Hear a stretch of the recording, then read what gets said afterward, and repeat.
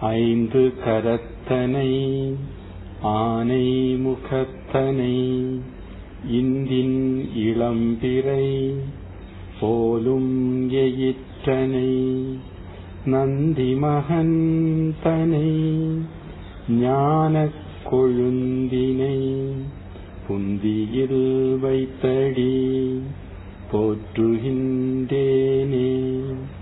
தந்தை தாயாவானும் சார்கதியுங்காவானும் அந்தமிலா இன்பம் நமக்காவானும் எந்தமது ஊனாகுவானும் உயிராகுவானும் அருக்கோனாகுவானும்.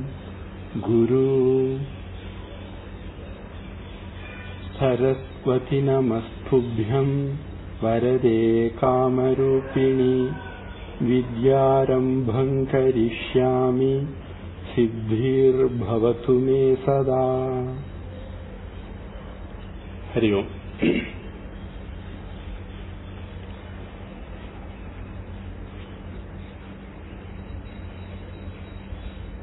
நாம இதுவரைக்கும் பார்த்த வகுப்புகளை ஒரு தடவை ஞாபகப்படுத்திக்குவோம்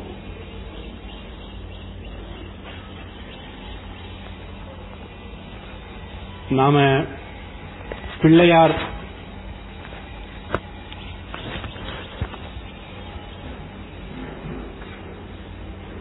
கணேசர் விநாயகர் இப்படி பல பேரால அறியப்படக்கூடிய பிள்ளையார பத்தி முதல் வகுப்பு தொடங்கணும் அதை நாம தெரிஞ்சுக்கிட்டோம் கடவுள் நிர்குண நிலை சகுண நிலை ரெண்டு நிலையில இருப்பார். இன்னொரு விதமா சொல்றதா இருந்தா உருவத்தோடையோ அருவுருவத்தோடையோ அருவத்தோடையோ இருப்பார். அருவ நிலையில இருக்கிற கடவுள் எடுத்த முதல் வடிவம் ஓங்காரம் அதனுடைய வரி வடிவமா இருக்கிறதுனால அதனுடைய பிரதிநிதியாக இருக்கிறதுனால பிள்ளையாரு நாம முதல்ல வழிபடுறோம்.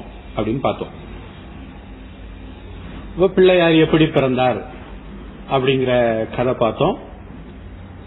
அப்புறம் அவருக்கு எப்படி யானத்தலை வந்தது அப்படிங்கிற கதை பார்த்தோம். அப்புறம் அவருக்கு ஏன் தோப்பு கரணம் போடுறோம் அப்படிங்கிற கதை பார்த்தோம். அவருக்கு ஏன் கொம்பு முறிஞ்சிருக்குது அப்படிங்கிற கதை பார்த்தோம். இப்படி சில விஷயங்கள் நம்ம பார்த்துருக்கிறோம். இப்ப பார்த்ததெல்லாம் நீங்க ஞாபகம் வச்சிருக்கிறீங்களான்னு முதல்ல செக் பண்ணிக்கலாம்னு நினைக்கிறோம். நாம ஒரு பிள்ளையார் படம் காட்டுவோம். படத்தை காட்டி அதுல ஒவ்வொன்றை பத்தி கேட்போம் அது அதுக்கு என்னென்ன அர்த்தம்னு கேட்போம் யாருக்கு யாருக்கு ஞாபகம் இருக்குதோ அவங்கெல்லாம் சொல்லலாம்.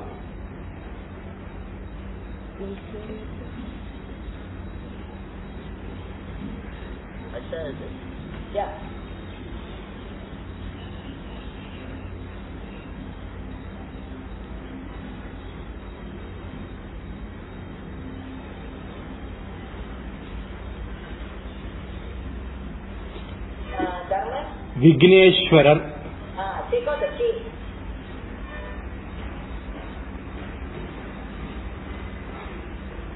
விக்னம் அப்படின்னா இடைஞ்சல்கள் தடங்கல்கள் சிக்கல்கள் தொந்தரவு கஷ்டம் இதெல்லாம். அந்த விக்னங்களை எல்லாம் நீக்கக்கூடிய கடவுள். அதனால அவருக்கு விக்னேஸ்வரர். அப்படின்னு பேர். ஈஸ்வரன்னா கடவுள். நம்ம கடவுள்னா என்னன்னு பிறகு பார்ப்போம். கஷ்டங்களை எல்லாம் நீக்கக்கூடிய கடவுளுங்கிறனால அவருக்கு விக்னேஸ்வரன் அப்படிங்கிற பேர் உண்டு. அதனால எந்த ஒரு காரியமும் தடங்கள் இல்லாம நல்லபடியா முடியணும் அப்படின்னு நாம நினைக்கிறதுனால எந்த ஒரு காரியம் தொடங்குறதுக்கு முன்னாடியும் நாம பிள்ளையார கும்பிட்டுக்கிட்டு தொடங்குறோம். நாம அதனால வகுப்பையும் பிள்ளையாரோட ஆரம்பிச்சிருக்கிறோம். ம் அடுத்தது. இதுல சுக்லாம் பரதரம் விஷ்ணும் சசிவர்ணம் சதுர்புஜம் பிரசன்ன வதனம் தியாயே சர்வ விக்னோப சாந்தையே அப்படின்னு ஒரு மந்திரம் போட்டிருக்காங்க. அப்புறம் நாம பார்த்த ஐந்து கரத்தனை மந்திரமும் போட்டிருக்காங்க. யாருக்காவது எழுதி எடுக்கணும் அப்படின்னு நினைச்சீங்கன்னா அது தமிழ்லயும் இருக்குது ஆங்கிலத்திலயும் இருக்குது எழுதி எடுத்துக்கலாம். நீங்க எழுதி எடுக்கிற நேரத்துக்கு நம்ம அதனுடைய அர்த்தத்தை உங்களுக்கு ஞாபகப்படுத்திடுறேன். சுக்லாம் பரதரம் அர்த்தம் நான் சொல்லல ஸ்லோகம் சொல்லல ஸ்லோகத்தை ஒரு தடவை சொல்லி அர்த்தம் சொல்லிடுறேன் शुक्लाम्बरधरम् विष्णुम् शशिवर्णम् चतुर्भुजम् प्रसन्नवदनम् ध्यायेत् சர்வவிக்னோபசாந்தயே சுக்ல அப்படின்னா வெண்மையான இத வச்சுதான் நம்ம சுக்ரன் அப்படின்னு ஒரு கிரகம் இருக்குன்னு சொல்றோம். காலையில விடி வெள்ளின்னு சொல்லுவோம். அது வந்து வெள்ளி கிரகம் அப்படின்னு சொல்லுவாங்க. வீனஸ் அப்படின்னு ஆங்கிலத்துல சொல்றாங்க. அந்த கிரகம் ரொம்ப பிரகாசமா இருக்கிறதுனால அதுக்கு சுக்கிரன் பேர். இந்த சுக்லம்ங்கிறது வெண்மையான பிரகாசமான அந்த மாதிரி அர்த்தம் தரக்கூடிய வார்த்தை. இந்த இடத்துல வெண்மையான அம்பரம்னா ஆடை. தரம்னா கரித்தவர் உடுத்தவர். பெண்மையான ஆடையை உடுத்தவர். விஷ்ணு அப்படின்னா விஷ்ணு என்கிற வார்த்தைக்கு ரெண்டு விதமா அர்த்தம் எடுத்துக்கலாம். ஒன்னு அதனுடைய தத்துவ பொருள். அது என்ன அப்படின்னா எல்லா இடமும் வியாபித்து இருக்கிறவர். கடவுள் இல்லாத இடமே இல்ல. அதனால விநாயகர் கடவுளா இருக்கிறதுனால அவர் இல்லாத இடமே இல்லை. கடவுளான விநாயகர் எல்லா இடமும் இருக்கிறார்கள் அர்த்தத்துல விஷ்ணு. இன்னொரு அர்த்தம் காப்பாற்றுகிறவர். கடவுளுக்கு ரெண்டு நிலை உண்டு நான் சொல்லியிருக்கிறேன் நினைக்கிறேன். அல்லது இனிமேல் சொல்லுவேன் சொரூப நிலை தடஸ்த நிலை அப்படின்னு. சொரூப நிலைனா உண்மையிலே உண்மையிலே அவர் எப்படி இருக்கிறாரோ அப்படி. தடஸ்த நிலைனா அவர் என்ன பண்றாரோ அதை வச்சு அவருக்கு கொடுத்துருக்கிற பேரு. உதாரணத்துக்கு ஒருத்தர் வந்து வண்டி ஓட்டுறார். உடனே டிரைவர்னு சொல்றோம். பாடம் எடுக்கிறார். ஆசிரியர் சொல்றோம். விவசாயம் பண்றார் விவசாயி சொல்றோம். இந்த மாதிரி அவர் என்ன பண்ணுறாரோ அதுக்கு ஏத்தது மாதிரி. அது பண்ணாட்டாலும் அவர் அவர் தான் மாலையாக இருக்கும் போது தங்கம் தங்கம் தான் மாலையாக இல்லாத போதும் தங்கம் தங்கம் தான். அந்த வேலையை அவர் செய்யும் போதும் கடவுள் கடவுள் தான் வேலையை செய்யாத போதும் கடவுள் கடவுள் தான். அப்ப காப்பாற்றுகிற போது கடவுள் அப்படின்னு சொல்லும் போது விஷ்ணுன்னு சொல்றது உண்டு. காப்பாற்றுகிற வேலையை செய்யறதுனால. சசி வர்ணம். சசி அப்படின்னா சந்திரன். சந்திரன்ல ஒரு முயல் உட்கார்ந்து இருக்கிறது மாதிரி இருக்கிறதுனால சம்ஸ்கிருதத்துல சந்திரனுக்கு சசின்னு ஒரு பேர் வச்சிருக்காங்க அந்த சந்திரனுடைய நிறத்துல தங்க நிறத்துல மாம்பழ கலர் நம்ம சொல்லுவோம் இல்லையா? அல்லது புது நிறம்னு சொல்லுவாங்க. வெள்ளைக்கும் கருப்புக்கும் இடைப்பட்ட ஒரு நிறத்துக்கு அந்த மாதிரி சொல்லுவாங்க. சசி வர்ணம் தங்க நிறத்துல இருக்கிறவர். சதுர்புஜம் நான்கு கைகள். மனிதர்களுக்கு ரெண்டு கைகள் அவருக்கு நான்கு கைகள். தும்பிக்கைய கைன்னு இந்த இடத்துல கணக்கு எடுக்கல. அதனால அவங்க மற்ற கை நாலு இருக்குதுங்கிறத சொல்லியிருக்காங்க. புஜம்னா கைகள் சதுகு அப்படின்னா நாலு நான்கு கைகள். பிரசன்ன வதனம். எப்பவுமே சிரிச்ச முகத்தோட இருப்பார். பிரசன்ன அப்படின்னா சிரித்த முகம். வதனம்னா முகம். நாமளும் அப்படித்தான். எப்பவுமே சிரிச்ச முகமும் ஸ்ரீதேவியுமா இருக்கணும். நீங்க ஒண்ணு கவனிச்சு பாருங்க. உலகத்துல யார் யார நிறைய பேருக்கு பிடிக்கும்னு பாத்தீங்கன்னா அவங்க எல்லாருமே நல்ல சிரிச்ச முகத்தோட இருப்பாங்க. எப்பவுமே சந்தோஷமா இருப்பாங்க. அப்படி யார் இருக்கிறாங்களோ அவங்கள தான் எல்லாருக்கும் பிடிக்கும். பொதுவா உலகத்துல இது நீங்க தெரிஞ்சிருக்க வேண்டிய ஒரு முக்கியமான உண்மை. உங்களை மற்றவங்களுக்கு பிடிக்கணும் அப்படின்னா நீங்க எப்பவும் சந்தோஷமா இனிமையான பழக்க வழக்கங்களோட மலர்ந்த முகத்தோட இருக்கணும். பொதுவா கடவுள் பாத்தீங்கன்னா எப்பவுமே நம்ம நாட்டு கடவுள் எல்லாம் எப்பவுமே மலர்ந்த முகத்தோட இருப்பாங்க. லட்சுமியா இருக்கட்டும். அதனால யாராவது சிரிச்ச முகம் சீதையுமா இருந்தா லட்சுமி மாதிரி இருக்கா அப்படின்னு சொல்லுவாங்க. விஷ்ணுவா இருக்கட்டும் அல்லது சிவனா இருக்கட்டும் எப்பவுமே சந்தோஷமான முகத்தோட இருப்பாங்க. இறக்குமதி செய்யப்பட்ட கடவுள்கள் அப்படி இருக்க மாட்டாங்க. ஆனா நம்ம நாட்டு கடவுள் எல்லாம் எப்பவுமே சந்தோஷமா சிரிச்சமுகமா இருப்பாங்க. அதுல கிருஷ்ணன் வந்து உங்களுக்கு நல்ல ஒரு உதாரணம். எப்பவுமே சந்தோஷமா இருக்கிறவர். விளையாட்டு பிள்ளை. முருகனும் அப்படித்தான். சரி. பிள்ளையாரும் அப்படித்தான் பிரசன்ன வதனம் சிரிச்ச முகத்தோட இருப்பார். தியாயேத் அவரை வணங்குகிறோம் தியானிக்கிறோம் நினைக்கிறோம் அப்படின்னு அர்த்தம். எதுக்காக வேண்டி இந்த சாமியை நாம நினைக்கிறோம்? அப்படிங்கிறதுக்கு காரணம் சொல்றாங்க அடுத்த வார்த்தையில. சர்வ எல்லா விக்ன தடைகளும் இடைஞ்சல்களும் உபசாந்தையே சாந்தி ஆகிறதுக்கு தனியறதுக்கு இல்லாம போகிறதுக்கு நீங்கிறதுக்கு எல்லா கஷ்டங்களும் வந்தது வரப்போறது எல்லாமே நீங்கிறதுக்காக வேண்டி நாங்க பிள்ளையார கும்பிடுறோம். அப்படின்னு இதுக்கு அர்த்தம். விஷ்ணு சஹஸ்ரநாமத்துல பொதுவா இதை சொல்லிதான் நாம தொடங்குவோம். சரி இந்த- இடைவெளியில நீங்க மந்திரம் எல்லாம் எழுதியிருப்பீங்கன்னு நினைக்கிறேன். ஐந்து கரத்தனை ஆணை முகத்தனை நான் ஏற்கனவே சொல்லியிருக்கிறேன். ஐந்து கரங்கள் உடையவர் ஆனை முகத்தை உடையவர். அவருக்கு கையில ஒரு கொம்பு இருக்கு பாருங்க. அது வந்து சந்திரன் மாதிரி வளர்ந்துருக்கு. அதனால இந்தின் இளம்பிறை போலும் எய்த்தனை.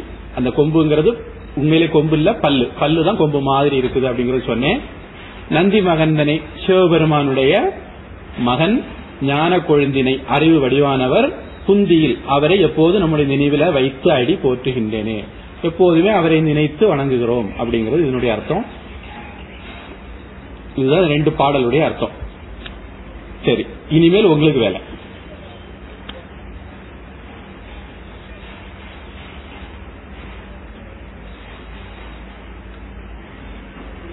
இப்போ இந்த பிள்ளையாருக்கு தலை பெருசா இருக்கு. இந்த பெருசா இருக்கிற தலைக்கு என்ன அர்த்தம்? மைக் எல்லாம் மியூட் பண்ணி வச்சிருக்கீங்கன்னா அதை மியூட் எடுத்து விட்டுக்கிட்டு யாருக்கு விட தெரியுமோ அவங்க படாருன்னு சொல்லிடலாம். தலை பெருசா இருக்கு. அதுல இருந்து நாம என்ன தெரிஞ்சுக்கிறோம்?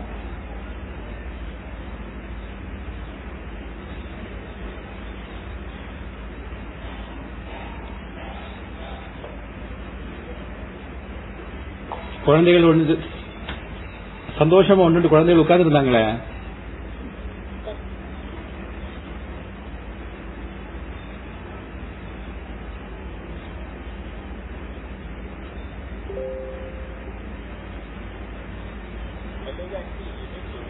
யாரோ பேசுறாங்கன்னு நினைக்கிறேன். எனக்கு சரியா கேட்கல.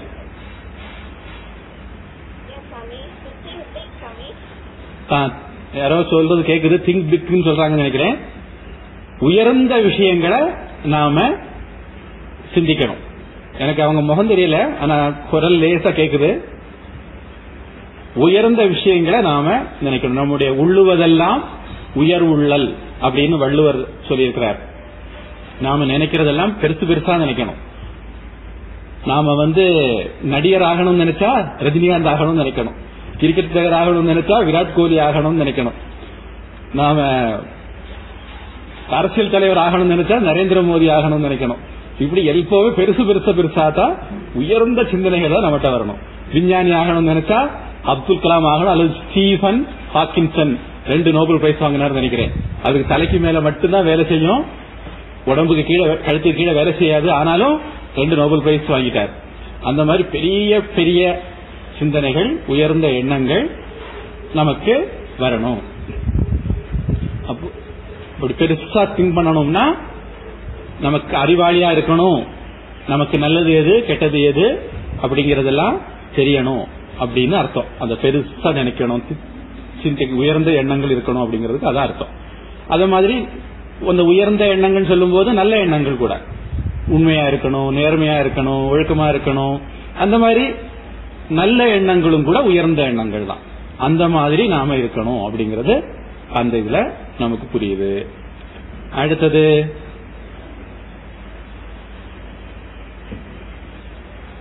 அவருடைய கண்கள்.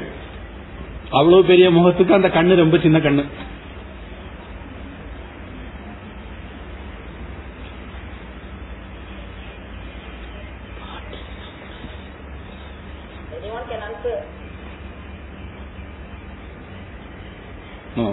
மைக் மியூட் எடுத்து விட்டுக்குங்க. ஒருவேளை நீங்க சொல்லுவீங்க எனக்கு கேட்காது. மைக் மியூட் எடுக்கலைன்னா. Can can you see his Ekriya Mataji? ஆ, சொல்லுங்க ஐயா உண்மைய பார்த்துருக்கு ஆ, கண்ணு கூர்மையா பாக்குறது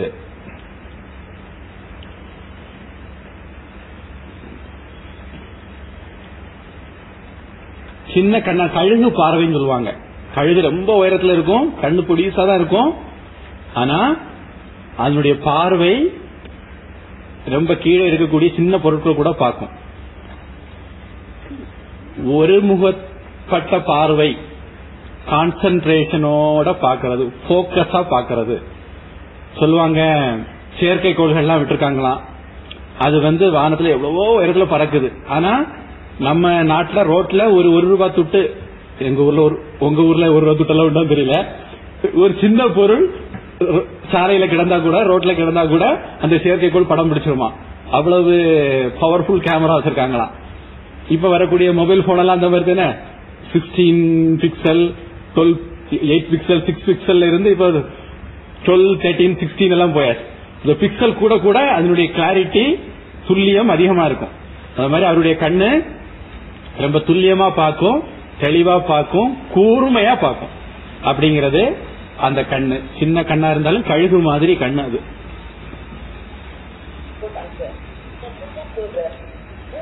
பதில் சொன்னவங்களுக்கு நன்றி. எனக்கு ரொம்ப நல்லா உங்க சத்தம் கேட்கல குரலும் பேருந்தவனு தெரியல. இருந்தாலும் ரெ- ரெண்டு பதில் ரெண்டு பேர் சொல்லியிருக்கீங்க ரெண்டு பேருக்கும் நன்றி. அடுத்தது அவர் கையில ஒரு கயிறு இருக்கு.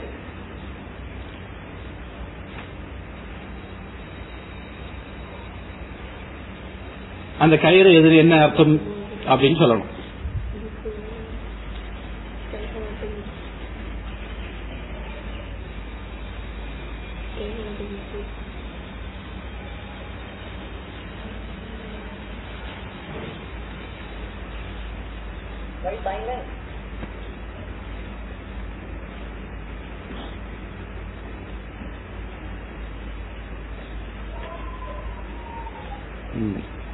என்னுடைய கம்ப்யூட்டர்ல கொஞ்சம் ஒலி குறைவா இருந்தது நான் கூட்டி இருக்கிறேன் நீங்க பேசின இப்ப எனக்கு முன்னோட நல்லாவே கேட்கும் சொல்லுங்க.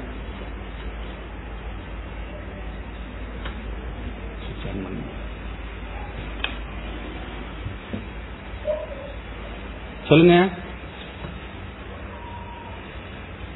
கையில் அங்குஷம். ஆ, கையில். பாசம். அங்குஷம் வலது கையில் இருக்கு. இடது கையில் இருக்கிறது அங்குஷம். பாசம். பாசம்னா கயிறுன்னு அர்த்தம். கீதையில கூட ஐயோ பதில் யோசிக்கிற நேரம் நான் சொல்லிக்கிட்டே இருக்கிறேன் பதில் தெரிஞ்சவங்க சொல்லுங்க. கீதையில கூட வருது தியாயத்தோ விஷயான் பும்சக ரெண்டாவது அத்தியாயத்துல. ஒரு பொருளை ஒருவன் நினைச்சுக்கிட்டே இருக்கிறான் சங்கஸ்தேஷு உபஜாயத்தை அதுல இருந்து பற்றுதல் உண்டாகுது. சங்கா சஞ்சாயத்தே காமம் அதுல இருந்து காமம் ராகம் ஆசை உருவாகுது அப்படின்னு வருது. பாசத்துல இருந்து ஆசை வரும் பற்றுதல்ல இருந்து ஆசை வரும் பாசக்கயிறு ஆமா பாசக்கயிறு அதனுடைய அர்த்தம் என்ன? அந்த பாசக்கயிறுனால என்ன நடக்கும்? என்ன செய்வாரு? அன்பால கட்டி போடுவாரு. ஆ, அன்பால நம்ம. கட்டி போடுவார். அதாவது இது வந்து ஆக்கல் அவருடைய ஐந்து தொழில்கள் உண்டு ஐந்து கரங்கள் மூலமாக. அதுல இது வந்து ஆக்கல் தொழிலை குறிக்கிறது அப்படின்னு நம்ம வச்சுக்கலாம். என்ன அப்படின்னா நாம அம்மாவோட அன்பா இருப்போம் சகோதரர்களோட சகோதரிகளோட அன்பா இருப்போம் உறவினர்களோட அன்பா இருப்போம் நம்முடைய நண்பர்கள்ட்ட அன்பா இருப்போம். இப்படி நாம சுற்றி இருக்கிற ஒவ்வொருத்தர்ட்டையும் அன்பா இருப்போம். அதே மாதிரி கடவுள்கிட்டயும் அன்பா இருக்கணுமே. அந்த ஒரு பைண்டிங் ஒரு தலைன்னு சொல்லுவாங்க. பொதுவா நம்ம இந்த உலகத்துல நாம விரும்புறது முக்தி. சுதந்திரமா இருக்கிறத. ஆனா நம்மள கட்டி போடுறது தலை கயிறு. இந்த பாசம் அப்படிங்கிற கயிற்றுனால நம்ம இல்ல இந்த உலகத்துல கட்டி போட்டு வச்சிருக்காங்க. நம்ம அம்மாவுக்கு நம்மகிட்ட பாசம் இருக்கிறனால தான் நமக்கு சாப்பாடு பண்ணி தராங்க பள்ளிக்கூடத்துக்கு படிக்க அனுப்புறாங்க நம்ம கேட்கறதெல்லாம் ஐஸ்கிரீம் எல்லாம் மழை சமி போது கூட வாங்கி தர்றாங்க. உடம்புக்கு நல்லது இல்லைன்னா கூட. இதெல்லாம் அன்புனால தான் அம்மா பண்றாங்க. இந்த மாதிரி அந்த குறிக்குது பாசத்தை குறிக்குது இந்த கயிறு. இதன் மூலமாகத்தான் சிருஷ்டி உலக படைப்பு அப்படிங்கிறது நடக்குது. அது அந்த சிருஷ்டி தொழில படைத்தல் தொழில பிள்ளையார் பண்றாரு அப்படிங்கறத இந்த இது குறிக்குது. அதனாலதான் கணபதி அதர்வ சீர்ஷ உபனிஷத்துல தொம் பிரம்மா தொம் விஷ்ணு தொம் ருத்ரஸ்தொம் இந்திர அப்படின்னு ஒரு வரிசையா வரும். உங்க சுவாமி அம்மாட்ட கூடுதலா கேட்டுக்குங்க. நீதான் பிரம்மா நீதான் விஷ்ணு நீதான் ருத்ரன் நீதான் இந்திரன் நீதான் சந்திரன் நீதான் சூரியன் அப்படின்னு எல்லாமே நீதான் அப்படின்னு வரும். இந்த இடத்துல பிரம்மாவாட்டு அவர் இருக்கிறாரு. படைத்தல் தொழிலை செய்யக்கூடியவர் அப்படிங்கறத சொல்லாம சொல்றது இந்த கயிறு. ஆக்கல் தொழில் படைத்தல் தொழிலுடைய அடையாளம். அது வந்து நம்மள பாசத்தினால கட்டி போட்டு வச்சிருக்கு இந்த உலகத்துல. நாம இந்த உலகத்துல வாழ்றோம் அப்படின்னா பாசத்தினால கட்டி போட்டு வச்சிருக்கறனால வாழ்றோம். அத காட்டுது. ம். அவர் பக்கத்துல நம்மளை கெட்டி இழுக்கிறதுக்கும் பக்தி அப்படிங்க அந்த பாசமே பக்தியா மாறுச்சுன்னு வச்சுக்கோங்க. அவர் பக்கத்துல போய் சேர்ந்துடுவோம் அதுக்கும் இந்த கயிறு பயன்படுது. அடுத்தது அவருடைய தந்தம். எதை குறிக்குது?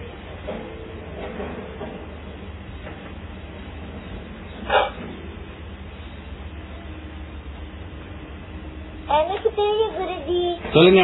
வெரி குட் அவர் வந்து பேனா எழுதி எழுதி எழுதி பேனா உடஞ்சானே அவரோட கொம்பு உடச்சி எழுதினாரு ஆமா மகாபாரதம் எழுதுறதுக்கு அவருக்கு குச்சி வேணும் பென்சில் வேணும். அந்த பென்சிலுக்கு பதிலாக அவர் வந்து இந்த அவருடைய கொம்பை பயன்படுத்திக்கிட்டாரு. ஒரு கொம்பை எடுத்து எழுத எழுத அந்த கொம்பு தேஞ்சு போயிட்டதுன்னா அடுத்த கொம்பை ஒடிச்சு எழுத இருக்கு அதனால சில பிள்ளையார பாத்தீங்கன்னா வலதுக்கு பக்கம் கொம்பு ஒடிச்சிருக்கும். சில பிள்ளையார்ல இடது பக்கம் கொம்பு ஒடிச்சிருக்கோம். அவருக்கு ஒவ்வொரு கொம்பா மாத்தி மாத்தி ஒடிச்சு ஒடிச்சு எழுதிக்கிட்டே இருந்தார். ஒரு லட்சம் ஸ்லோகம் எழுதணும் இல்லையா? பெரிய புத்தகம். அதாவது நிறைய கொம்பு தேவைப்பட்டிருக்கும். அவருடைய கொம்பே வளர வளர ஒடிச்சு ஒடிச்சு எழுதிக்கிட்டார்.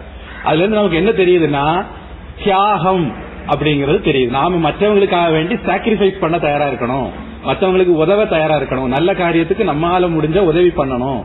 அப்படிங்கறத இந்த கொம்ப ஒடிச்சு அவர் எழுதுறது காட்டுது. இதுக்கு பின்னாடி இன்னொரு கதையும் கூட சொன்னேன். கஜமுகாசுரன் ஒரு அசுரனை கொல்றதுக்கு அவருக்கு ஆஹ், ஒரு ஆயுதத்தால அவரை கொல்ல முடியாது. அதனால என்ன பண்ணாரு? அந்த கஜமுகாசுரனை கொல்றதுக்கு அவரு தன்னுடைய கொம்பையே ஒடிச்சு அவனை கொன்னாரு அப்படிங்கறத பார்த்தோம். அதுக்காக வேண்டி கூட அவர் அவருடைய கொம்பை ஒடிச்சிருக்காரு அப்படிங்கறத நம்ம பார்த்தோம்.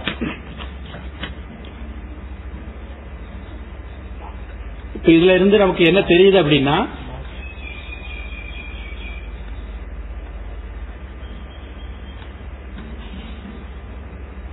நாம வந்து நல்லது நடக்கிறதுக்காக வேண்டி உயர்ந்த விஷயங்கள் நடக்கிறதுக்காக வேண்டி கொம்புங்கிறது யானைக்கு ரொம்ப அழகான ஒரு பாகம். யானைக்கு ரொம்ப அழகானது கொம்பு. அந்த அழகான தனக்கு ரொம்ப பிரியமான ஒன்னையே கூட துறக்கிறதுக்கு தியாகம் பண்றதுக்கு பிள்ளையார் தயாரா இருந்தார். தியாகத்தை இந்த கொம்பு குறிக்குது சாக்ரிஃபைஸ குறிக்குது அப்படிங்கறத பாக்குறோம் அடுத்தது இது வந்து அவருடைய துதிக்கையில இருந்து வருது. நாம அதை வந்து அவருடைய முகம் யானை முகம்னு எடுத்துக்குவோம். அவருடைய யானை முகம் எதை குறிக்குது?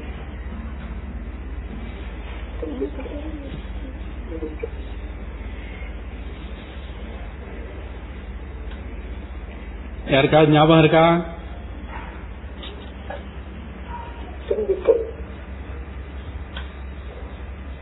தும்பிக்கை.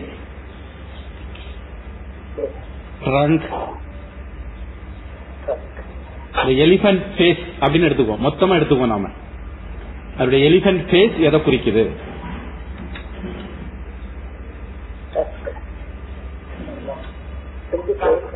அந்த ட்ரங்க் வந்து எதை குறிக்குதம்மா ட்ரங்கோட வருது இல்லையா? அவரோட முகம்.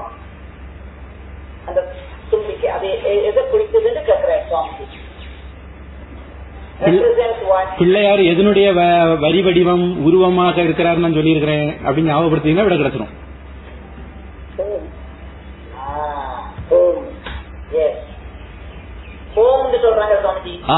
சரி சரி. ஓம். ஓம் என்கிற பிரணவ எழுத்தினுடைய வடிவமாக அந்த யானை முகம் இருக்கு. அது அந்த துதிக்கை வரைக்கும் சேர்ந்து. அது ஓம்ல ஒரு வால் மாதிரி இருக்குமே அதுதான் துதிக்கை. ஓமினுடைய மேல் பக்கம் தான் அவருடைய தலை. அதெல்லாம் சேர்ந்து ஓம்கார வடிவாக பிரணவ வடிவாக பிள்ளையார் இருக்கிறாருங்கிறத அது குறிக்குது. அடுத்தது.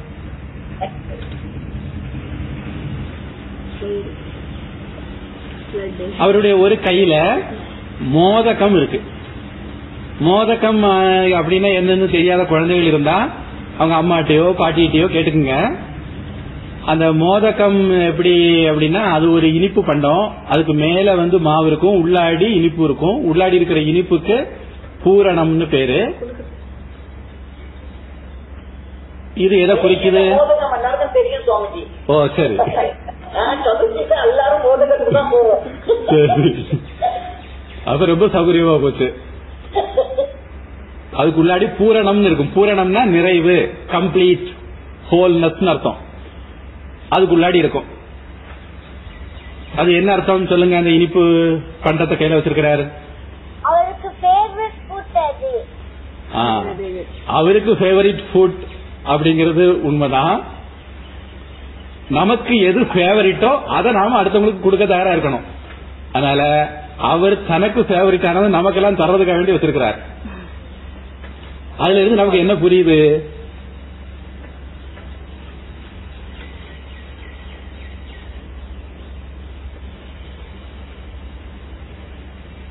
எந்த ஒரு விஷயமா இருந்தாலும் மத்தவங்க கூட ஷேர் பண்ணிக்கணும்.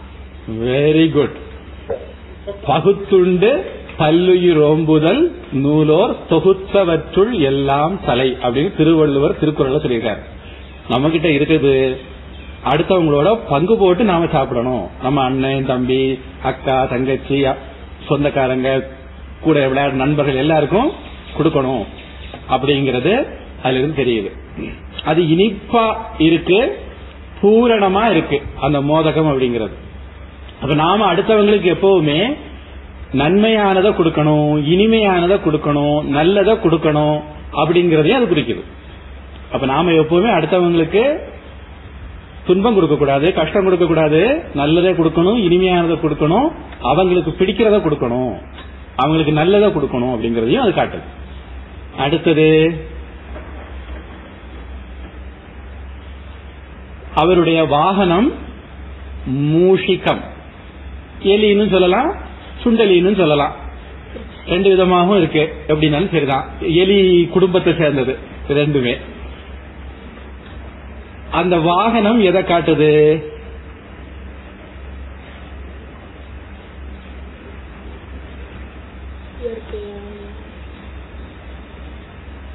நம்ம வந்து எலி மாதிரி ஆக்டிவா இருக்கணும் எலி மாதிரி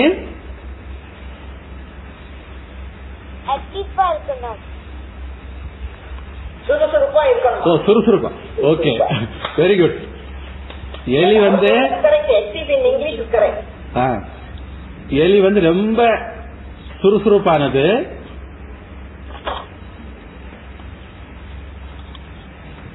அந்த எலி ஜீவாத்மாவுடைய அடையாளம். கணபதி அப்படிங்கிறவர் பரமாத்மா. எலி அப்படிங்கிறது ஜீவாத்மாவுடைய அடையாளம். அந்த ஜீவாத்மா அப்படின்னா நாம பொதுவா நம்ம கிட்ட என்ன இருக்கும்? அகங்காரம். நான். நான் தான் இதை செய்வேன். எனக்கு தான் நல்லா தெரியும். என்னால தான் இது முடியும். இந்த மாதிரி ஒரு ஈகோ நம்ம கிட்ட இருக்கும். அதைத்தான் நம்ம ஜீவாத்மான்னு சொல்றோம். அப்புறம் எலி பாத்தீங்கன்னா அங்கும் இங்கும் ஓடிக்கிட்டே இருக்கும். ஒரு சஞ்சலத்தோட அஜித்தேட்டடா இருக்கும். நம்முடைய மனசும் அது மாதிரி பல சமயங்கள்ல இருக்கும். அதையும் குறிக்குது. அப்புறம் நம்முடைய ஆசைகள் வந்து கட்டுக்கடங்காம தெரியும் எலி மாதிரி. நாம அம்மா கிட்ட வந்து மழை பெய்யும் போது ஐஸ்கிரீம் கேட்போம். அம்மா சொல்லுவாங்க வேண்டாம் மக்கா ம- மழை பெய்யும் போது ஐஸ்கிரீம் சாப்பிட்டா த்ரோட் இன்ஃபெக்ஷன் எல்லாம் வந்துடும் சொல்லுவாங்க. அதனால நம்ம கேட்க மாட்டோம். எனக்கு இப்பதான் வேணும் அப்படின்னு சொல்லுவோம். அம்மா நமக்கு நல்லதுக்கு தானே சொல்றாங்க. அம்மா சொன்னபடி கேட்போம்னு சில சமயங்கள் நமக்கு தோணாது. அப்ப நம்முடைய ஆசைய இப்பவே அடைஞ்சிடணும்னு நமக்கு தோணும். அந்த மாதிரி நம்ம பண்ணக்கூடாது. அப்படி பண்ணனா நமக்கு அது கெடுதல் வரும் அப்படின்னு காட்டுது.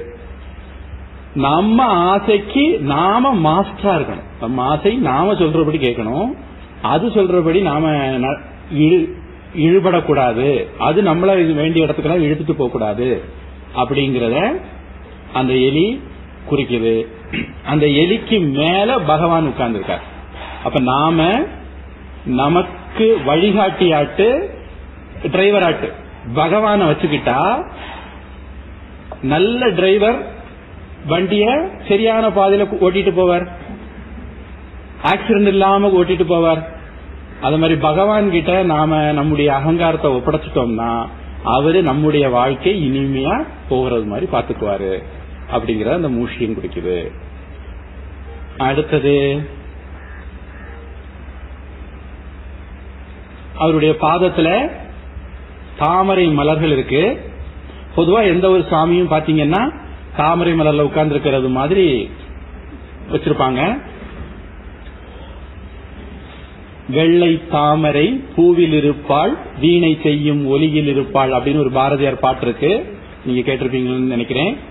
அது மாதிரி தாமரை பூவில் அமர்ந்தவளே சென் தாமரை பூவில் அமர்ந்தவளேன்னு மகாலட்சுமிக்கு ஒரு பாட்டு இருக்கு. பொதுவா எல்லா சுவாமிகளும் தாமரை பூவில் உட்கார்ந்து இருக்கிற மாதிரி பண்ணிருப்பாங்க. ஏன் அப்படின்னா நான் இது உங்களுக்கு இதுக்கு முன்னாடி ஒப்படை சொல்ல அதனால இன்னைக்கு நானே சொல்லிடுறேன். தாமரை மலருக்கு ஒரு விசேஷம் இருக்குன்னு பூஜை சுவாமி சொல்லுவாங்க. அந்த இதழ்கள்ல சில அரும்புகள் மாதிரி நூல் இழைகள் மாதிரி ஒரு அமைப்பு இருக்கு. அந்த அமைப்பு தாமரை மலர்ல தூசி போய் படியாம பாதுகாக்குது. அதாவது தாமரை மலர் அழுக்காகாது. அதுல போய் எந்த அழுக்கும் ஒட்ட முடியாது. இந்த மாதிரி ஒரு தன்மை தன்னைத்தானே எப்போதும் தூய்மையாக வைத்திருக்கக்கூடிய ஒரு தன்மை தாமரை மலருக்கு இருக்கு.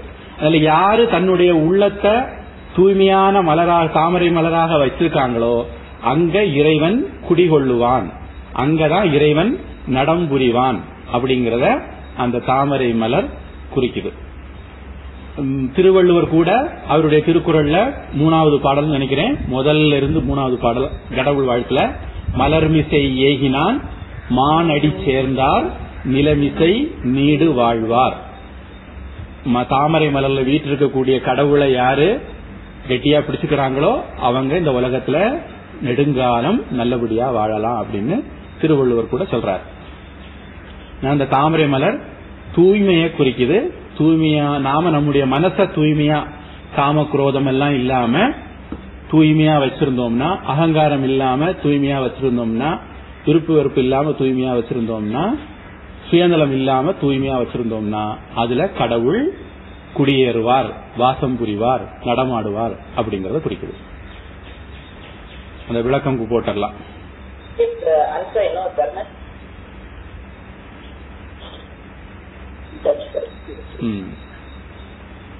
அடுத்தது அவருடைய பெரிய காதுகள்.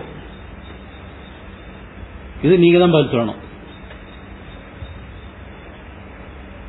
பதில் சொல்றவங்க உங்க பேருன்னு சொல்லுங்க நான் தெரிஞ்சுக்கிறேன். ஒரே தனசேகரன். தனசேகரன். சரிதானா? சரி.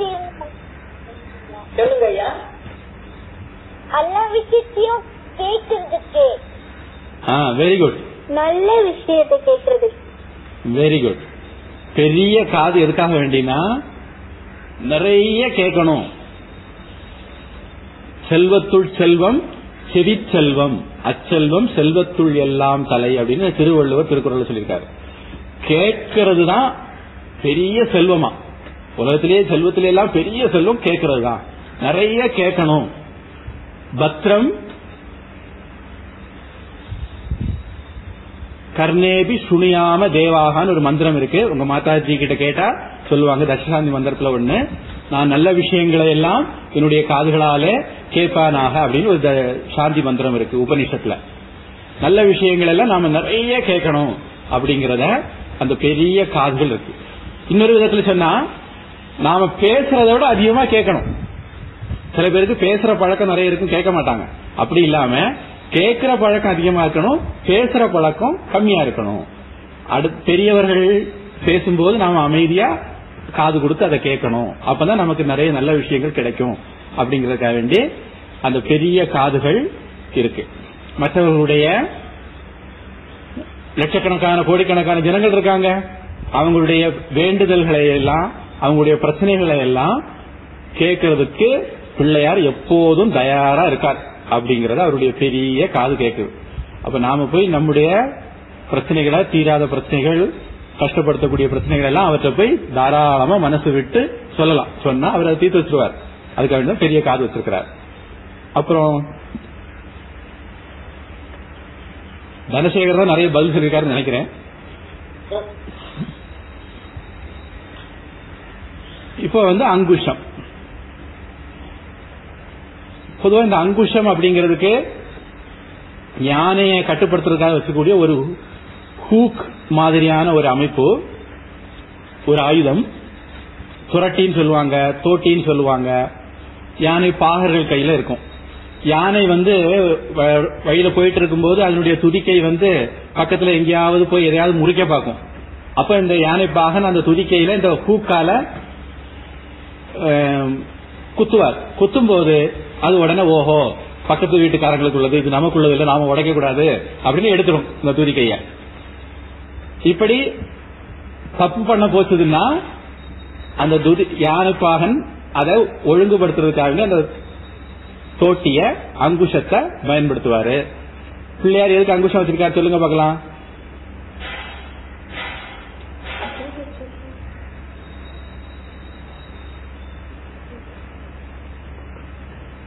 ஐயா தனசிகன் கை ஐயா சொல்லுங்க சந்திரசேகரன் சொல்லுங்க ஐயா. தப்பா தப்பான விஷயத்தைய தப்பான விஷயத்த புத்தி எடுக்கிறதுக்கு.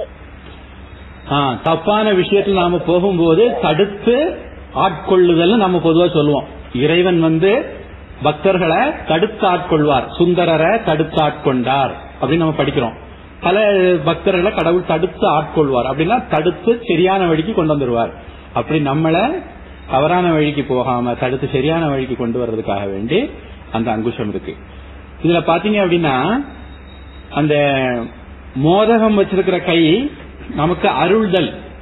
அருள் புரிகிறத குறிக்கும். அருள்தல்ங்கிறது ஐந்து தொழில்ல ஒண்ணு. ஆக்கல் தொழில் ஒரு கை இருக்கு அப்படின்னு சொல்லிட்டேன்.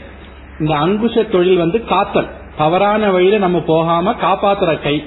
அதனால காத்தல் தொழில இந்த கை குறிக்குது. அப்படின்னு எடுத்துக்கலாம். ம். இதுக்கு இன்னொரு அர்த்தமும் நான் சொன்னேன். அது வந்து நம்முடைய பந்தங்களை பாசங்களை வெட்டுறதுக்கு கூட பயன்படுத்த முடியும். அது கோடரி மாதிரி இருந்தால் ப- பயன்படுத்த முடியுமானா? அப்படி கூட அது ப- அது வந்து நமக்கு நம்முடைய பந்தங்களை அறுக்கிறதுக்கு வெட்டுறதுக்கு பயன்படும். நம்மள தலையிலிருந்து விடுபட்டு முக்திக்கு கூட்டிட்டு போகிறதுக்கு பயன்படும். அப்படிங்கறதும் சொல்லியிருந்தேன். அடுத்தது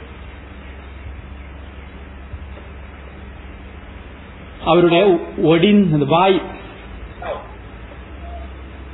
வாய் எங்க இருக்குன்னே தேடி கண்டுபிடிக்க வேண்டியிருக்கு. தெரியவே மாட்டேங்குது எனக்கு. அதுக்கு என்ன அர்த்தம் சொல்லுங்க பாப்போம்.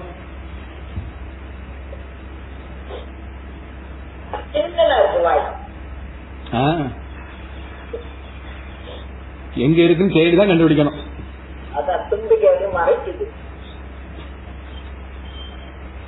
ஐயா நல்ல விஷயத்தெல்லாம் பேசுறதுக்கு. வெரி குட் நீங்க இப்ப பதில் சொன்னது யாரு? சுவாஸ்திகா ஓகே. வேற ஏதாவது பதில் இருக்கா?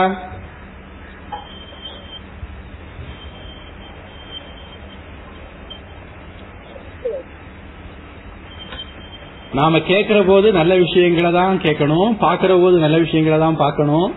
காந்தியடிகளுக்கு ஒரு பொம்மை கூட இருக்கே. யாரோ பதில் சொல்றாங்க சொல்லுங்க. ஆ? சொல்லுங்க. நம்ம பேசும்போது அளவா பேசலாம்.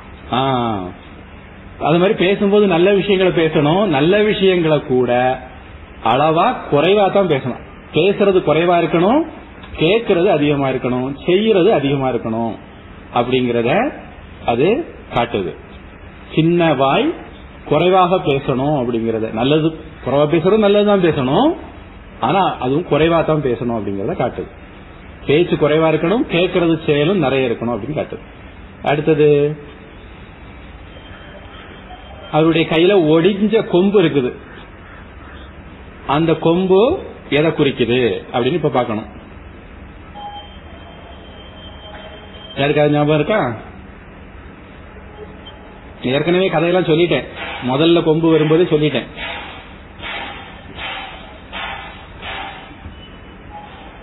ஐயா தனசேகர பேசுறியா சொல்லுங்க தனசேகரன்.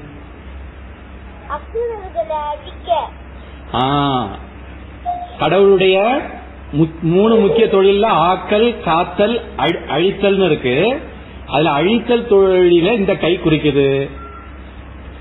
கெட்டவர்களை அழிக்கிறதுக்கு அந்த கொம்பு பயன்படும். இன்னொரு பயன்பாடு நம்ம ஏற்கனவே பார்த்தோம். நல்ல காரியங்களுக்காக வேண்டியும் பயன்படுத்துவார் அப்படிங்கறதையும் பார்த்தோம். இந்த இடத்துல இது அழித்தல் தொழிலுக்கான கையா எடுத்துக்குவோம். கெட்டவர்களை அழிக்கிறதுக்கு ஆயுதமாக தன்னுடைய கொம்பை அவர் பயன்படுத்தினாரு. அடுத்தது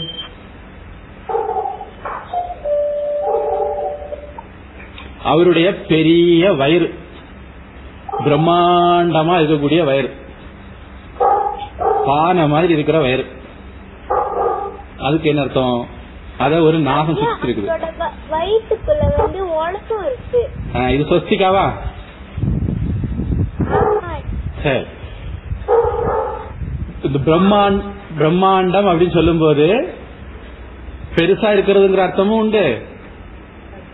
முட்டை வடிவில் இருக்கிறது யூனிவர்ஸ் அப்படிங்கிற ஆங்கில வார்த்தைக்கு சமமானது. அப்படிங்கிற அர்த்தமும் உண்டு. அப்ப இந்த உலகம் அவருடைய வயிறாக உருவகிக்கப்படுது. மொத்த உலகமே அவருடைய வயிற்றுக்குள்ளதான் இருக்கு.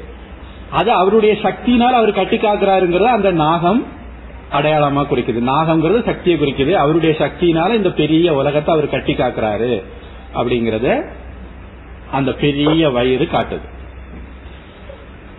இதெல்லாம் சொல்றது மாதிரி ஒரு சீர்காழி கோவிந்தராஜன் பாடல் கூட இருக்குது.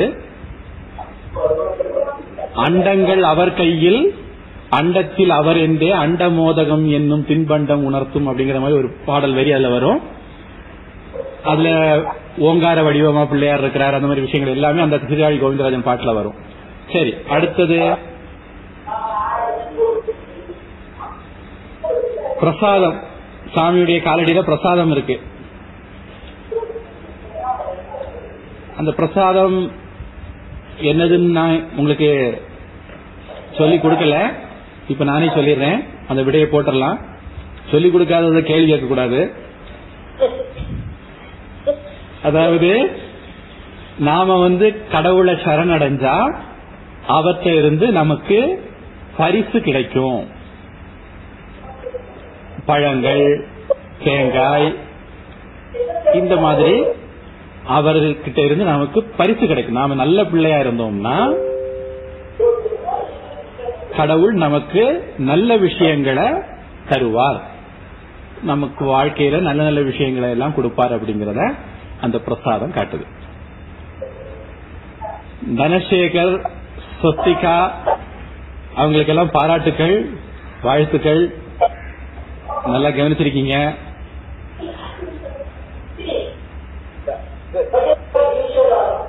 Okay, you can pick the garment. ரொம்ப ஹரி ஓம் ஆ, ராஜசேகர் தனசேகர் ஒரே தான் இருக்கீங்களோ? பக்கத்துல பக்கத்துல இருக்கீங்களோ?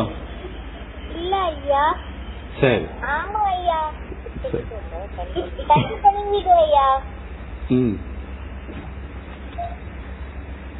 இப்போ மேற்கொண்டு நாம முன்ன வகுப்புகள் எல்லாம் என்னென்ன பார்த்தோங்கிறது அடுத்த வகுப்புல பார்ப்போம். இன்னைக்கு வகுப்புல புதுசா கொஞ்சம் தெரிஞ்சுக்குவோம். இந்த கடவுளுக்கு சொரூப நிலை தடஸ்த நிலை அப்படின்னு ரெண்டு நிலை ஒண்ணு அவரு உண்மையிலே எப்படி இருக்கிறாரோ தங்கம் தங்கமா இருக்கிறது சொரூப நிலை. தங்கம் வந்து நகைகளா இருக்கிறது தடஸ்த நிலை. மலையா இருக்கலாம் மோதிரமா இருக்கலாம் வளையலா இருக்கலாம். இப்படி இப்ப ஒரு உதாரணம் சொல்றேனே. நீங்க வந்து உங்க உறவினர் வீட்டுக்கு போகணும். உங்களுக்கு வழி தெரியாது. அது வீட்டு பக்கத்துல போயிட்டீங்க. போயிட்டு அங்க பக்கத்துல இருக்கிறவங்க நீங்க வழி கேக்குறீங்க. இன்னார் வீடு எங்க இருக்குது அப்படின்னு அட்ரஸ் கொடுத்து கேக்குறீங்க. அப்போ உங்ககிட்ட பதில் சொல்றவரு அந்த காக்கா உட்கார்ந்துருக்கு பாருங்க. அந்த வீடு தான் நீங்க கேட்ட வீடு அப்படின்னு சொல்றாரு. நீங்க அந்த காக்கா உட்கார்ந்து வீட்டை பாத்துட்டீங்க நீங்க பாத்துட்டு இருக்கவே காக்கா பறந்து போயிட்டு.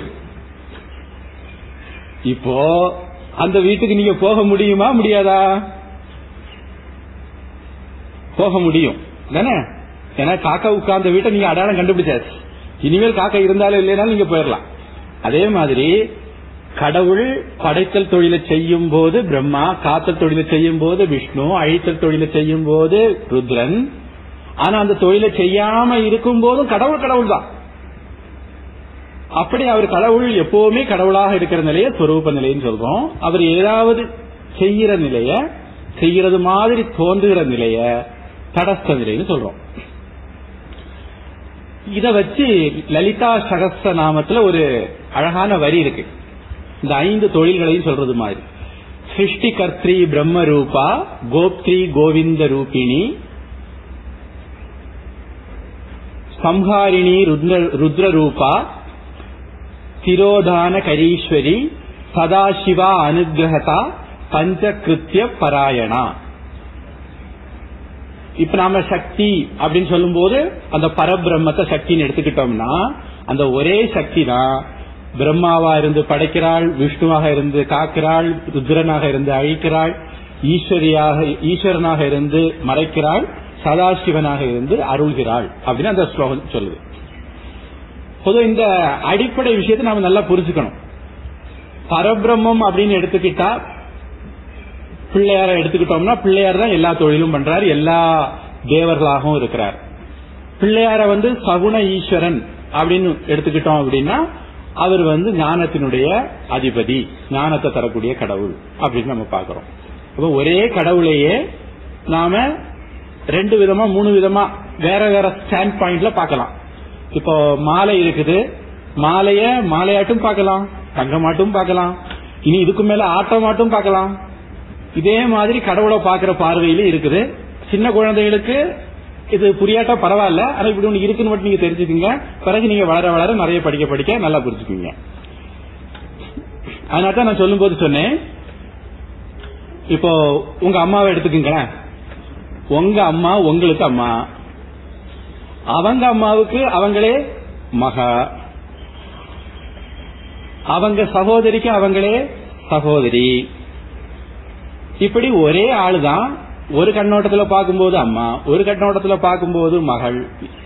நேர் எதிரும் புதிருமான கேரக்டர் இன்னொரு கண்ணோட்டத்துல பார்க்கும்போது சிஸ்டர் இன்னொரு கண்ணோட்டத்துல பார்க்கும்போது அத்தை. இன்னொரு கண்ணோட்டத்துல பார்க்கும்போது சித்தி பெரியம்மா.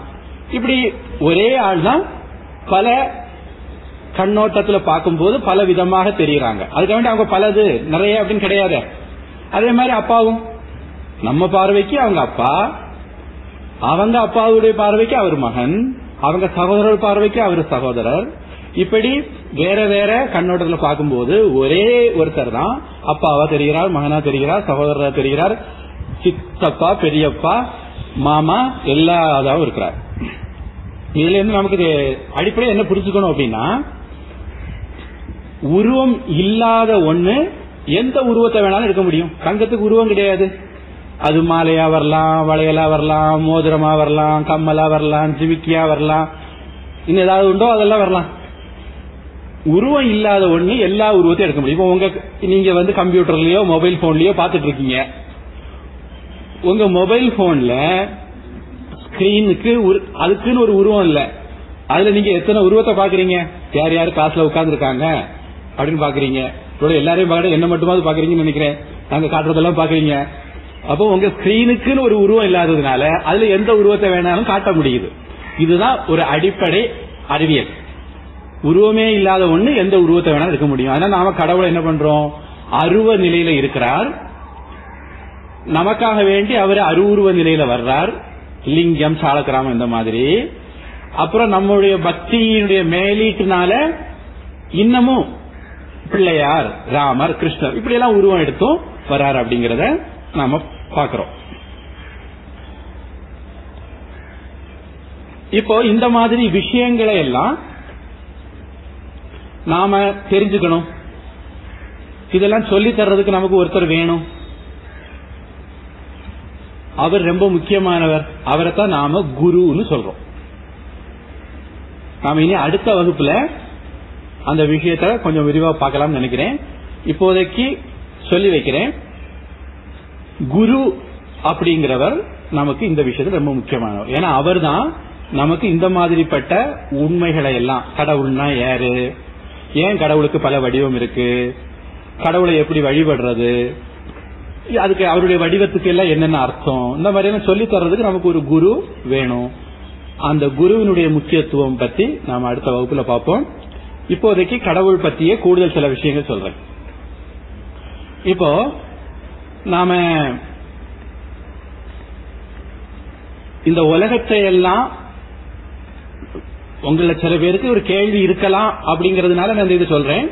இல்ல ஒருவேளை உங்களுக்கு கேள்வி இல்லாட்டா கூட உங்களை யாராவது கேள்வி கேட்க வருவாங்க குழப்பறதுக்காக வேண்டி வருவாங்க அவங்களுக்கு உங்களுக்கு பதில் சொல்ல தெரியணும். அதுக்காக வேண்டி நான் இதை சொல்றேன்.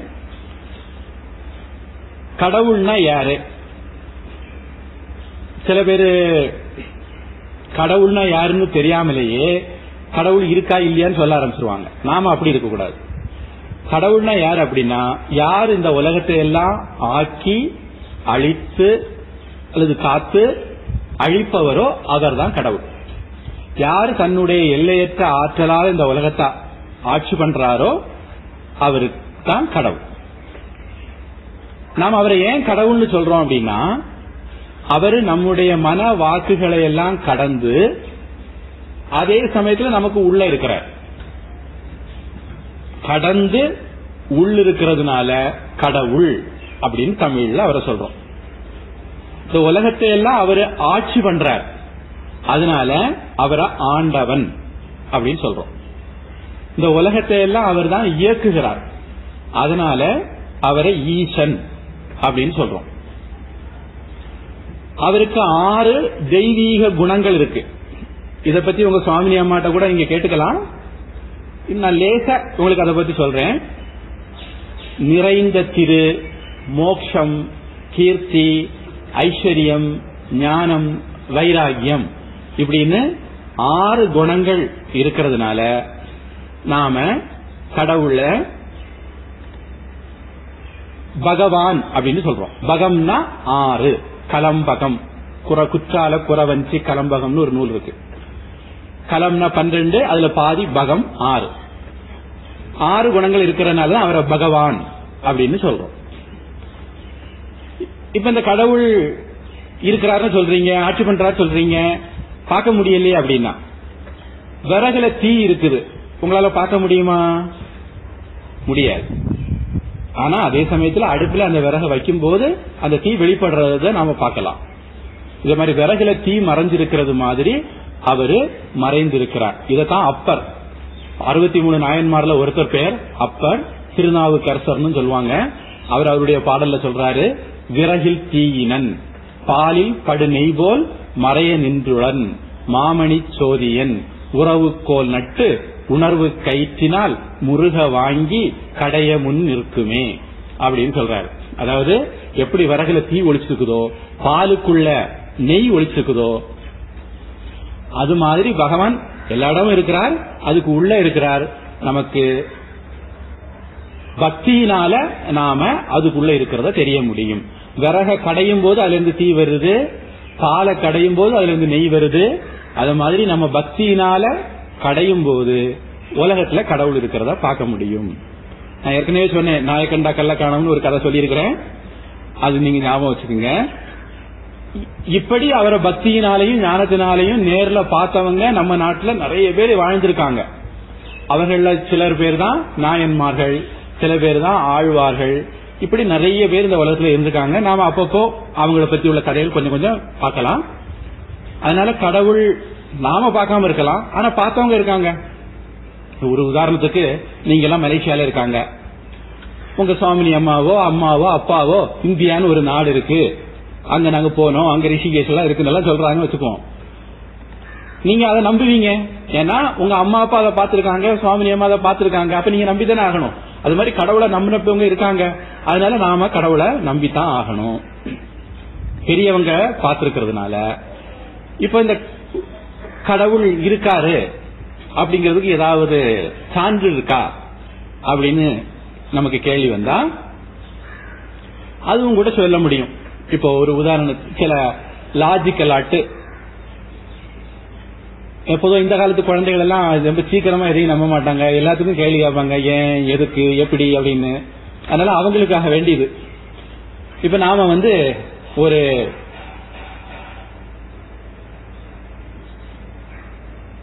வீட்டை பாக்குறோம் அந்த வீட்டை பார்த்தா உடனே நமக்கு என்ன தெரியுது? இந்த வீட்டை கெட்டுறதுக்கு ஒருத்தர் இருந்திருக்கணும் இன்ஜினியர் இருந்திருக்கணும் அப்படின்னு தெரியுது.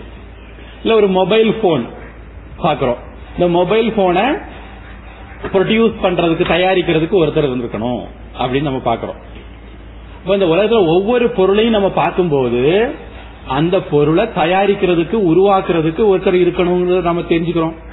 அப்போ இந்த அற்புதமான உலகத்தை பார்க்கும்போது அதே அறிவு நமக்கு வருதா இல்லையா? இந்த அற்புதமான உலகத்தை படைக்கிறதுக்கு ஒரு அற்புதமான ஒருத்தர் இருந்திருக்கணும்னு தெரியுதா இல்லையா? அவரை தான் நாம கடவுள்னு சொல்றோம். இந்த அற்புதமான உலகத்தை படைச்ச அந்த அற்புதமான சக்திக்கு நாம கடவுள்னு பேர் கொடுத்திருக்கிறோம். இப்ப வானத்துல நாம நிறைய கோள்கள் இருக்குது பிளானட் இருக்குதுன்னு பாக்குறோம் அவையெல்லாம் ஆயிரக்கணக்கான லட்சக்கணக்கான வருஷங்களா ஓடிக்கிட்டே இருக்கு. குறிப்பிட்ட பாதையில வந்துகிட்டே இருக்கு. ஒண்ணுக்கு ஒண்ணு இடிக்கல. பூமியும் சந்திரனும் மோதல்ல. பூமியும் சூரியனும் மோதல்ல. இப்படி நாம எத்தனையோ கோடிக்கணக்கான வருஷமா இதெல்லாம் ஒரே பாதையில போயிட்டு இருக்குதுன்னு பாக்குறோம். இதுல ஏதாவது மாற்றம் வந்ததுன்னா பூமி இப்ப தான் இருக்கிற பாதையிலிருந்து கொஞ்சம் விலகிட்டதுன்னா சூரியன்ல போய் சேர்ந்துடும் அழிஞ்சிடும் அப்படிலாம் சொல்றாங்க. ஆனா நமக்கு தெரிஞ்சு கோடிக்கணக்கான வருஷம் அப்படி நடக்கல. அப்ப இதெல்லாம் ஒரு குறிப்பிட்ட பாதையில நம்ம ஊர்ல சாலையில டிராபிக்ல ஏதோ கொஞ்சம் குளறுபடி ஆயிட்டுன்னா ஆக்சிடென்ட் ஆயிருது ஆனா இந்த உலகத்துல கோள்கள் எல்லாம் தன்னுடைய பாதையில நட்சத்திரங்கள் எல்லாம் தன்னுடைய பாதையில காலாகாலமாக பிழை இல்லாம ஆக்சிடென்ட் ஆகாம சுத்திக்கிட்டே இருக்குது. அதுல இருந்து இதெல்லாம் இப்படி இயக்குறதுக்கு ஒரு சக்தி இருக்கணும். அப்படின்னு நாம தெரிஞ்சுக்கிறோம். அந்த சக்தியை தான் நாம இறைவன் அப்படின்னு சொல்றோம். இப்ப நம்முடைய உடம்புல நிறைய உறுப்புகள் இருக்கு. கண்ணு காது மூக்கு இதயம் கல்லீரல் மண்ணீரல் கிட்னி பிரெயின் இப்படி எல்லாம் இருக்கு. இந்த இடத்துல ஒரு தகவல் உங்களுக்கு. சூப்பர் பிரெயின் யோகா அப்படின்னு ஒண்ணு யூடியூப்ல கிடைச்சதுன்னா பாருங்க. தோப்பு கர்ணம் பத்தி அதனுடைய அருமை பத்தி அதுல சொல்லுவாங்க. சரி. இப்ப இந்த மாதிரி உறுப்புகள் எல்லாம் இருக்கு. இவ்வளவு நுண்ணிய உறுப்புகள் ரொம்ப ஃபைன் டியூன்டு ஆர்கன்ஸ் நமக்கு இருக்குது அது பெர்ஃபெக்டா வேலை செய்யுது. இதெல்லாம் உருவாக்குறதுக்கு ஒரு சக்தி இருந்திருக்கணும். இவ்வளவு அற்புதமான உடம்ப படைக்கிறதுக்கு. ஒரு அற்புதமான சக்தி இருந்திருக்கணும். அந்த சக்தியை தான் நாம இறைவன் சொல்றோம். இந்த உலகத்துல பாத்தீங்கன்னா விதையில இருந்து முளைச்சு மரம் வருது மரத்துல இருந்து காய் வருது கனிகள் கிடைக்குது உணவு கிடைக்குது. இப்படி உலகத்துல எல்லாம் ஒரு ஒழுங்கா நடக்குது ஒரு ரித்தம் அந்த ரித்தத்துல ஒவ்வொன்று நடக்கிறதுனால இது கண்டிப்பாக தன்னைத்தானே நடக்க முடியும். ஏன்னா இந்த உலகத்துக்கு அறிவு இருக்க மாதிரி தெரியல. அறிவில்லாத ஒண்ணு இவ்வளவு ஒழுங்கா ரித்தமா செய்ய முடியாது. அப்ப இந்த உலகம் அப்படி நடக்குது அப்படின்னா அதுக்கு பின்னாடி ஒரு அறிவு இருந்து அதை நடத்தணும் அப்படின்னு நாம யூகிக்க முடியும். அந்த அறிவைத்தான் நாம கடவுள்னு சொல்றோம். சரி நீங்க இப்படி எல்லாம் சொல்றீங்க எல்லாம் சரி. ஆனா நாங்க அவரை பார்க்கலையே அப்படின்னா. இப்ப பகல்ல நம்ம வானத்தை பார்த்தோம்னா உங்க ஊர்ல நைட் ஆயிட்டுதுன்னு நினைக்கிறேன். எங்க ஊர்ல இன்னும் பகல் தான். பகல்ல வானத்தை பார்த்தோம் அப்படின்னா நட்சத்திரங்களை பார்க்க முடியறது இல்ல அதுக்காக வேண்டி நம்ம நட்சத்திரம் இல்லைன்னு சொல்ல முடியுமா என்ன?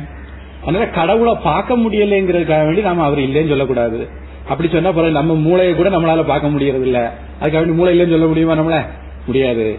அதனால நம்முடைய அஜானம்ங்கிற மாயையினால கடவுளை நாம் மறைக்கப்பட்டிருக்கிறாரு. அதை நீங்கினா நமக்கு கடவுள் தெரிவாரு. அதனால நாம கடவுள் உண்டு. கண்டிப்பாக உண்டு அப்படின்னு நம்பணும். கடவுளை நம்பினா நம்முடைய கவலைகள் அகலும். கடவுளை வணங்குனா நம்முடைய கஷ்டங்களை தீரும். நாம கடவுளை நினைச்சு கடவுள் நம்முடைய கடமைய செய்யணும்.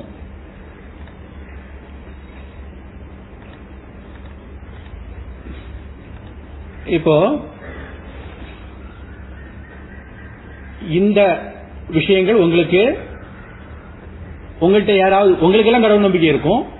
உங்கள்கிட்ட யாராவது பதில் கேட்க வந்தா கேள்வி கேட்க வந்தா அவங்களுக்கு பதில் சொல்ல உங்களுக்கு கை கொடுக்கும்னு நம்புறேன். அதற்கு மேல உங்களுக்கு ஏதாவது கேள்வி ஏதாவது கேட்டு பதில் சொல்ல முடியாம இருந்ததுன்னா நீங்க என்கிட்ட கேட்கலாம்.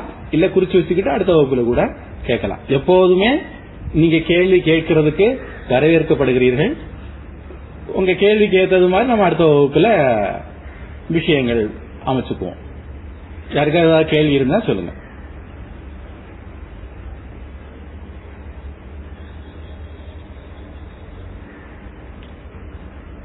சந்தேகம் அல்லது கிளாரிபிகேஷன்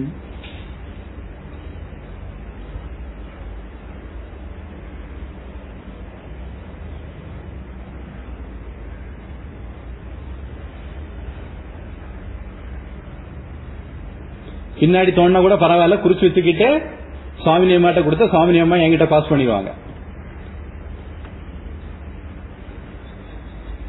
சில சமயங்களில் புதிய ஆட்டை கேட்கறதுக்கு ஒரு தயக்கம் இருக்கும். அப்படி இருந்தா அந்த சாமி அம்மாட்ட நீங்க கேள்வியை கேட்டலாம் சரி. அப்ப வகுப்பு முடிச்சுக்கலாமா?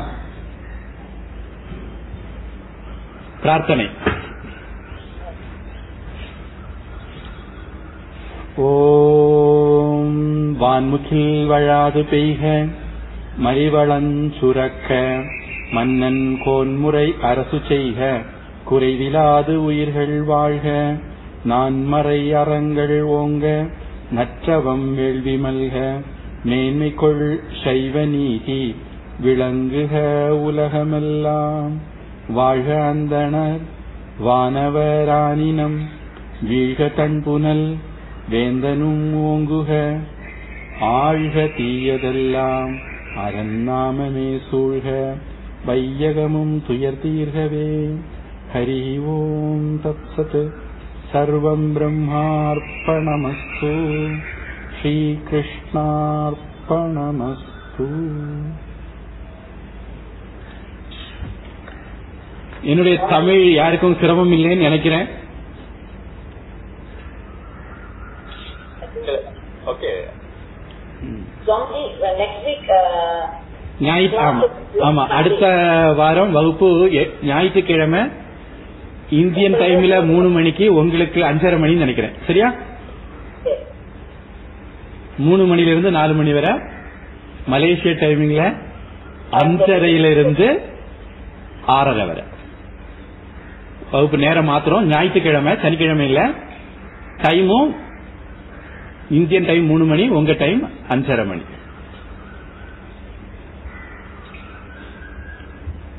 எல்லாருக்கும் நன்றி.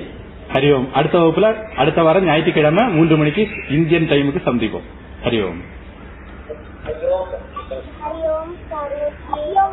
ஹரி ஓம் தனசேகர் சொஸ்திகா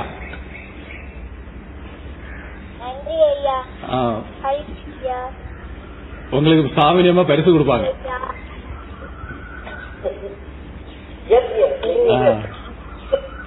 ஹரி ஓம் ஹரி ஓம். ஹரிஓம் ஐயோ ஐ ஹோப் தமிழ்ல இது ரெக்கார்டிங் எவ்ரிதிங் ஆ